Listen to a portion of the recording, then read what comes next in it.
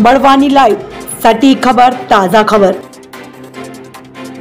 राजपुर प्रदेश सरकार द्वारा बड़े ही ज़ोर शोर से उत्कृष्ट विद्यालय की शुरुआत की थी, लेकिन वर्तमान स्थिति को देखते हुए लगता है कि उत्कृष्ट विद्यालयों के नाम में ही उत्कृष्ट बचा है। एक तरफ़ कोरोना महामारी ने दो वर्षों में बच्चों की पढ़ाई का जहाँ भारी नुकसान किया है, वही स्कूल की व्यवस्थाओं को भी काफ़ी नुकसान पहुँचाया है। राजपुर का उत्कृष्ट विद्यालय वर्तमान परिस्थिति में भगवान भरोसे ही चल रहा है। उत्कृष्ट विद्यालय में ना तो स्थायी प्राचार्य है और न ही कोई प्रभारी प्राचार्य, जो विद्यालय की बदहाल हो चुकी व्यवस्थाओं को फिर से सुचारू कर सके। जब इस बारे में विद्यालय के शिक्षकों से पूछा गया तो कोई ना कोई बहाना बनाकर शिक्षक अपनी कक्षाओं में चले गए। कोई भी इस बारे में जवाब ही नहीं देना चाहता है। स्कूल का खेल मैदान आवारा पशुओं की आरामगाह बन चुका है। वही ग्राउंड में जंगल जैसे हालात है। जब जवाबदार अधिकारियों से इस बारे में बात करने की कोशिश की गई तो सभी ने अपना पल्ला झाड़ लिया।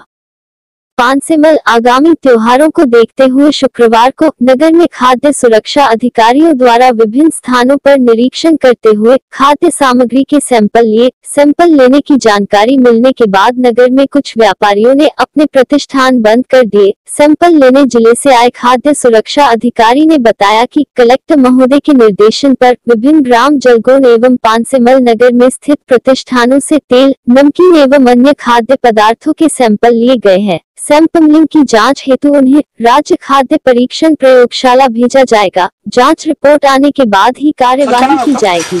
पंकज कुमार अंचल खाद्य सुरक्षा अधिकारी। सर आज कुछ किराना दुकानों से सैंपलिंग ली गई है। हाँ कलेक्टर महोदय के निर्देशानुसार आज पानसेमल और जलगोन में हमारे द्वारा विभिन्न प्रतिष्ठानों का निरीक्षण किया गया।